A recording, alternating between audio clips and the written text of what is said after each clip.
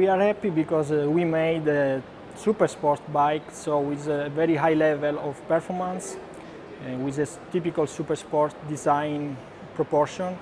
Uh, but in the same time, you can find uh, protection, comfort, functionality, uh, everything with a low uh, price.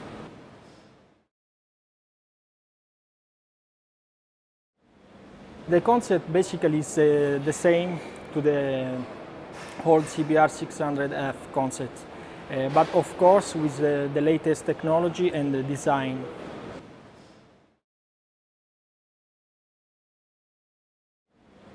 But the challenge was to find the perfect balance between uh, super sport image uh, design, but in the same time uh, syncing to the comfort, uh, functionality elements, and uh, keeping a low price. So this one basically was the, our challenge.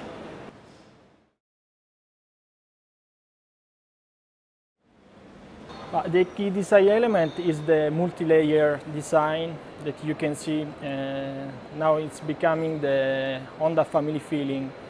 And uh, the inspiration uh, comes basically from the natural dy dynamism. And uh, when I see that bike, I remember the snake uh, while he's waiting uh, to attack. So dynamism, but in the same time simplicity.